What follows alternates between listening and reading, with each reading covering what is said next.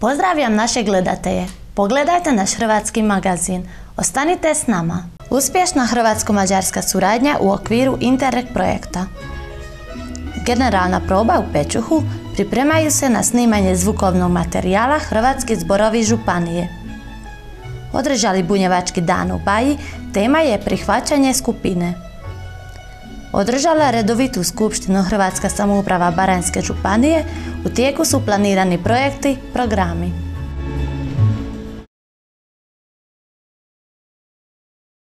U okviru Hrvatskog i Mađarskog Interreg suradnje u kolovozu će se završiti uspješan projekt između osnovne škole Josipa Kozarca i osnovne škole iz Voćina te dvije ustanove Pečuškog sveučilišta. Dvije pečuške škole skoro 80 tisuća eura su mogli potrošiti tijekom projekta, a pored toga i sredstva i uređaje su mogli nabaviti za pomoć pedagoškom programu. Tamped egy határon átnyúló régió, ahol a folyók összekötnek, nem elválasztanak. Ezzel a mottóval zajlott az a tehetséggondozó program, melyre két horvátországi iskola, a Szlatinai és a Vocsini általános iskola pályázott, és a projekthez a Pécsi Tudományegyetem két tagintézménye csatlakozott. A Tamped pályázat célja, hogy a matematika, a robotika, a sport, az idegen nyelvek és a művészetek iránt érdeklődő diákokat felfedezzék és tehetségüket kibontakoztassák. A tagintézményekben két-két tehetséggondozó foglalkozás zajlott 2020. október 1 -e óta. A program záró konferenciáját Pécset tartották. A tehetségazonosítás révén mindkét általános iskolánk felső tagozatán 130 tanulónak a tehetségmérése valósult meg, különböző jól bevált tesztekkel, online tesztekkel, kortárs kérdőívekkel, szülők megkérdezésével és a pedagógusok bevonásával, majd pedig négy tehetséggondozó csoportban folytak a foglalkozások. Mindkét általános iskolában egy-egy idegen nyelvi, egy angol nyelvi csoport indult, egy robotika és 3D nyomtatós projekt indult, egy műhely munka az egyes számú gyakorlóban, a Deákban pedig egy hatalmas együttműködés a BMSC Labdarúgó Akadémia és a Deák gyakorló között, ahol futbalista talenteket képeznek, részben a gyakorlóiskola óra keretében, tehát a délelőtti időszakban is. Ez egy nagyon komplex program, a tanulók felmérése nem csak a szokásos pszichológusok által elvégzett tehetségméréseken alakult, hanem itt a, a Labdarúgó Akadémiának a mérései alapján kerültek be a programba, illetve hát hozzácsatlakozott a, a Deák is a saját maga kognitív felméréseivel. A fejlesztés azáltal válik komplexé, hogy gyógytornászok, dietetikusok, pedagógusok és edzők segítik ennek a csoportnak a munkáját, így egy nagyon tényleg jó, a, a, olyannyira jó és sikeres ez a program, hogy ugye ők voltak azok, akik a diák olimpián nem csak futballban lettek országos második helyezettek, hanem atlétikában országos bajnokok lettek ugyanez a csapat. A robotika foglalkozásnál pedig az volt a cél, hogy a, az informatikának a különböző ágait és területeit ne különálló egységekként tekintsék a gyerekek, hanem úgy tekintsenek ezekre, mint egy-egy eszközre, mint egy-egy egységre, és jussanak el a tervezés folyamatától a késztermékig. Tehát onnantól, hogy megszületik egy gondolat, legyenek képesek egy programot alkotni, majd legyártani 3D nyomtatóval azt a megfelelő munkadarabot, és nagyon klassz produktumok születtek. Az idegen nyelvi foglalkozásokon pedig képeskönyv készült, illetve filmek és egy újságcikk is. Mindkét általános iskolánkban sikerült egy okos tantermet beszerezni a pályázat révén, ami tabletekből áll, és, és egy nagyméretű LCD kijelzővel, és a hozzátartozó szoftvert is sikerült, a Mozabook szoftvert. Ez az a szoftver, amit nagyon sok oldalúan tudnak a kollégáink hasznosítani a tehetséggondozásban. Cilj ovoga projekta e, potraga zapravo za darovitim učenicima, njihova identifikacija i rad e, u različitim aktivnostima. E, aktivnosti u projektu Tamped nekako se mogu svrstati u tri temeljne skupine, edukacije za učitelje, zatim edukacije i radionice za učenike i edukacije na kojima su sudjelovali i učenici i učitelji, odnosno to su zapravo kampovi za učenike. Do sad smo, evo ga, prije ove završne konferencije obavili dosta toga, brojne su aktivnosti iza nas, započeli smo s identifikacijom darovitih učenika, započeli smo s uvodnim konferencijama na kojima smo zapravo razmijenili stručna mišljenja i na kojima smo se upoznali s nekim osnovnim konceptima darovitosti. Zatim smo e, na različitim e, konferencijama za učitelje razmjenjivali također stručna mišljenja i primjere iz dobre prakse, odnosno sve one aktivnosti koje smo mi u školama e, obavljali zajedno s našim učenicima. Svakako vrijedi istaknuti da su u ovom projektu održana i dva učenička kampa. Jedan je održan u listopadu 2021. godine u Republici Hrvatskoj u Noskovačkoj Dubravi. Tamo su se održale različite radionice i aktivnosti za darovite učenike iz područja, iz različitih područja darovitosti, biologije, sporta, zatim likovne umjetnosti, tehničke kulture. A evo nedavno u svibnju ove godine održan je još jedan kamp za učenike u Mađarskom Orfu. Također su i ovdje održane različite aktivnosti, različite radionice za poticanje darovitosti. Obišli smo, nama jako drago što su nas naši partneri upoznali sa svojim gradom e, kojega smo, e, koji smo obišli, e, koji smo posjetili, ne samo grad nego i njegovu okolicu i evo nadam se da će ova završna konferencija na neki način objediniti sve ono što smo radili u ovim dvijema godinama. A pályázat részét képezte a tehetségmérés is. Felmérték a tanulók iskolához, társakhoz, tanárokhoz és tantárgyakhoz való viszonyát, megfigyelték az egymásról alkotott véleményüket. A fluencia, a flexibilitás, a képzelőerő, a komplexitás és a kockázatvállalás tételei mentén is jellemezték a diákokat, valamint mértek általános intelligenciát is.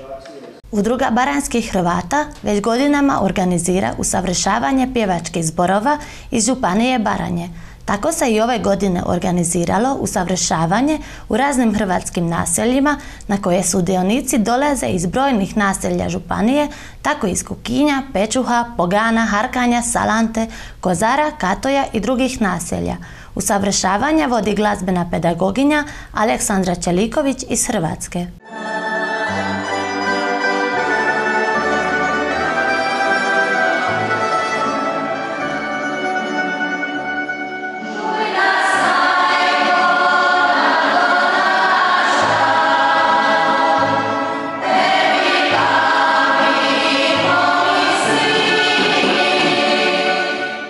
Organizaciji Udruge Baranskih Hrvata, kao i svake godine, tako i u ovoj godini se organiziraju usavršavanje članova hrvatskih zborova u Baranskoj županiji. Pored učenja izvedbe narodnih i vjerskih pjesama, ove godine se priprema i snimanje nosača zvukova da bi zajednički rad tih zborova i te pjesme preostale i za budućnost. Udruga Baranskih Hrvata je formirana 2009. godine. U stvari tada je registrirana na Pečuškom sudu. Od tada djeluje. Ja sam predsjednica već skoro pet godina te udruge i imamo dosta tih projekata. Imamo svoje članstvo, skoro stotinu njih iz raznih naših hrvatskih naselja u Baranji. Još prije jedno 4-5 godina na inicijativu Hrvatske referature Pečuške biskupije su organizirana usavršavanja za te pjevačke zborove. I lani je došlo do ideje, a mi u stvari od onda svake godine se sastajemo i dosta često imamo ta usavršavanja.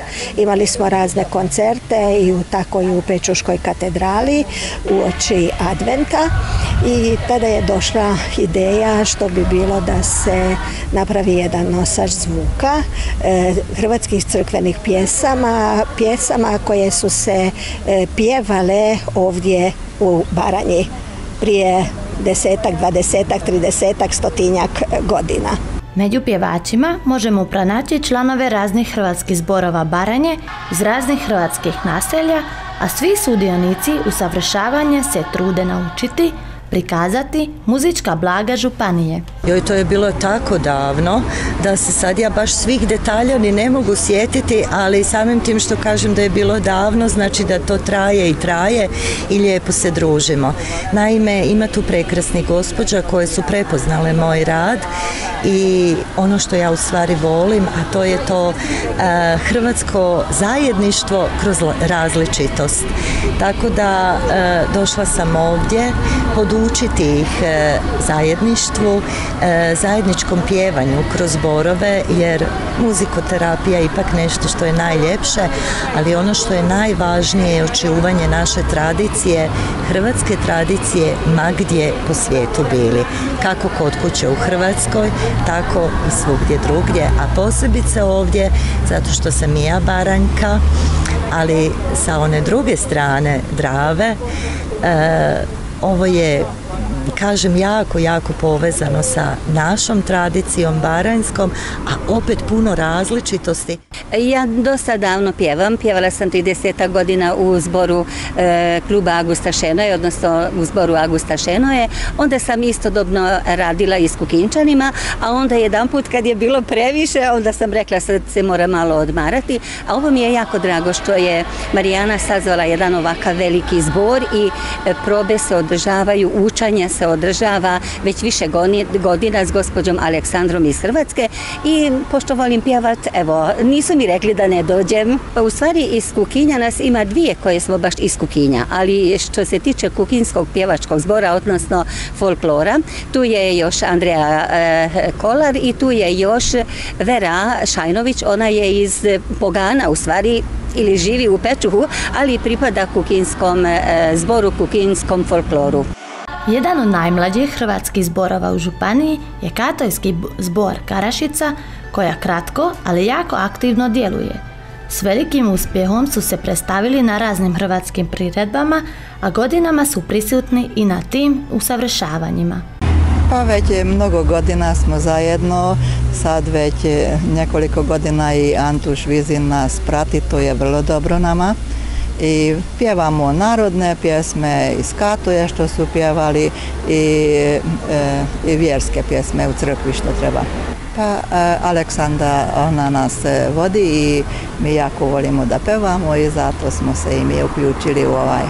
Pa najviše ja mislim iz Pečuva i Velikog Kozara, iz Kukinja,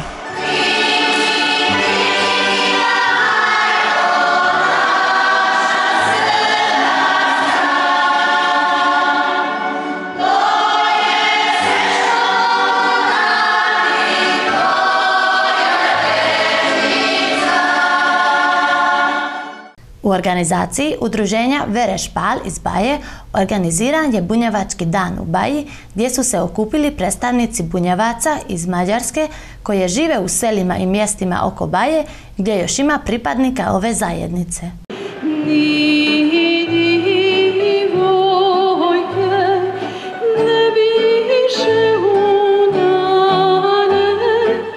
Antonovics János püspök méltatásával kezdődött a Bunyevác nap. Antonovics János a Bunyavász Nemzeti Mozgalom elindítója volt, és a népcsoport apostolaként, valamint annak öntudatát felébresztőjeként tartják számon a mai napig. Az egyházi méltóság élete során 200 nehéz sorsú bunyavász gyermeket támogatott tanulmányaikban és kultúrájuk megőrzésében. A koszorúzáson a Bunyavász Nemzeti Tanács elnöke is képviselte magát. Bunjevci žive u tri države, žive u Republiki Srbiji, žive u Hrvatskoj i žive u Mađarskoj. Od te tri države u Republiki Srbiji imaju svoj nacionalni savjet. U Mađarskoj su pokušali, evo sad koliko znam, četvrti put su pokušali da budu priznati kao nacionalna manjina, dok u Republiki Hrvatskoj velika većina ima hrvatski identitet. Hozzátette, Baja Magyarországon kiemelkedik a bunyevác népkörében. Baja je za nas izuzetno važan i bitan grad, prije svega zato što mi uvijek divanimo o bunjevačkom trouglu, trokutu, a u tom trouglu je jako važna Baja, dakle Subotica, Sombor i Baja.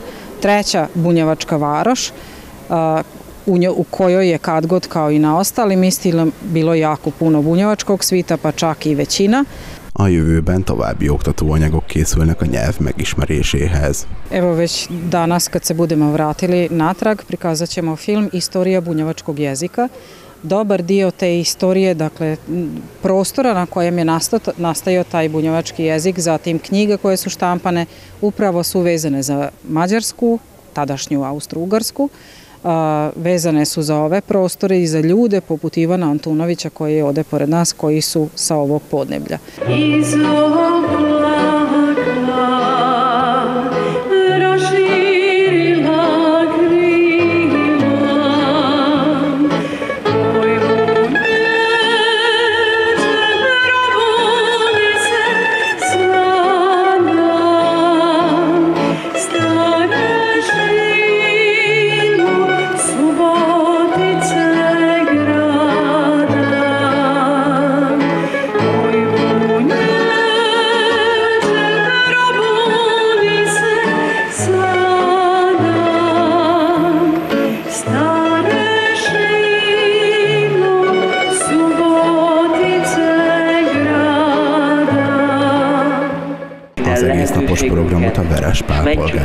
Egyesület szervezte. Természetesen a rendezők is megkoszorúzták az emlékművet.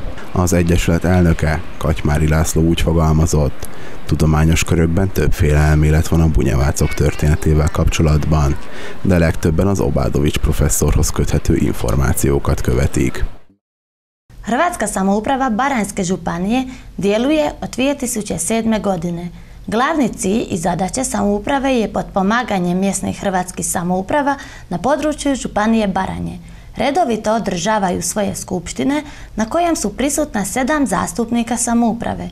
Tako su održali svoju skupštinu 13. srpnja u Hrvatskom klubu Agusta Šenue u Pečuhu.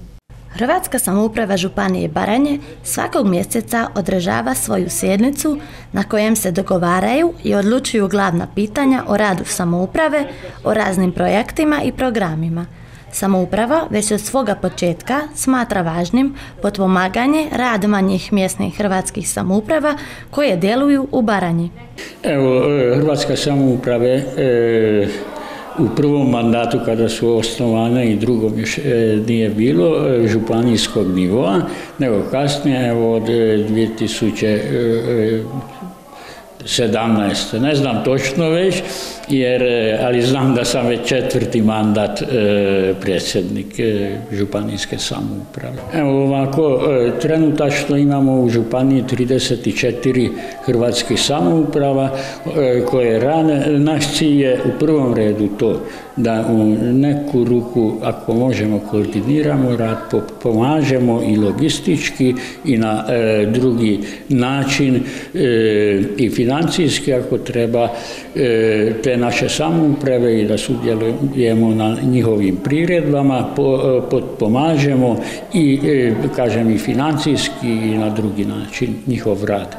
Evo imamo sedam e, zastupnika e, iz svih mikroregija, tako reći, naše e, županije.